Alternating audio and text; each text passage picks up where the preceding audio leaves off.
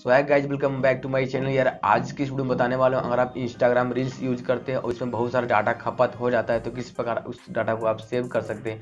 तो वीडियो में बने रहेंगे। अगर आप मेरे चैनल पर बने चैनल को सब्सक्राइब करना, साथ ही बेल ज़रूर प्रेस करना, क्योंकि इस तरह का वीडियो आपको इस चैनल पर मिलता रहेगा। चलिए वीडियो को शुरू करते हैं।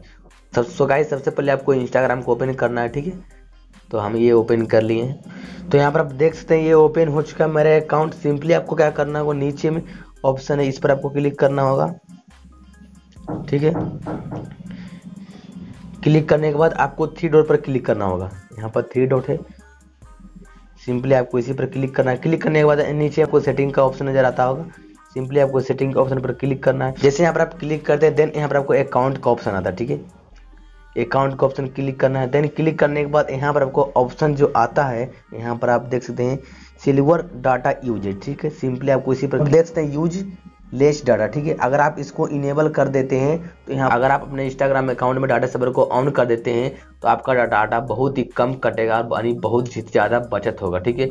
तो यहाँ पर आप देख सकते हैं यूज़ डाटा लेस्ट लिखा हुआ है, ठीक है? अगर आप इसको ऑन कर दीजिए तो यहाँ पे इसलिए आपको यहाँ पर डाटा सर्वर को ऑन करके रखना है, ठीक है?